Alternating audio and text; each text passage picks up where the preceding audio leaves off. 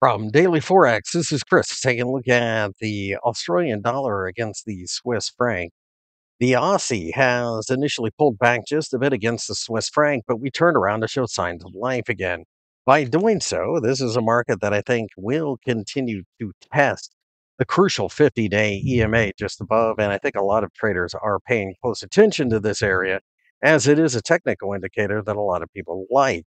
Breaking above the 50 day EMA then puts the 0.60 level in focus, which of course is a large, round, uh, psychologically significant figure that could come into the picture and offer a little bit of resistance in and of itself.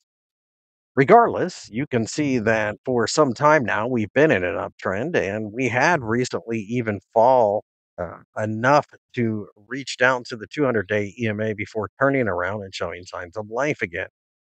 Because of this, I think the market is trying to determine whether or not it is going to stay in an uptrend, and I think it will over the longer term, mainly due to the interest rate differential. Keep in mind that the Australian dollar does pay you to hold it over the Swiss franc at the end of every session, and if you hang on to it long enough, it starts to add up.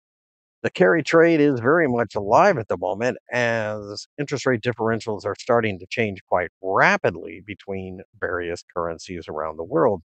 Keep in mind that the Swiss National Bank recently cut rates, and that, of course, is something front and center in the mindset of traders. And at the same time, the Australian dollar still pays a fair amount of interest. And on top of that, it also gives you a little bit of exposure to Asia in case there is further growth. Even beyond that, you also have to look at it through the commodity play because, quite frankly, in an inflationary environment, commodities do quite well. I remain a buyer of dips.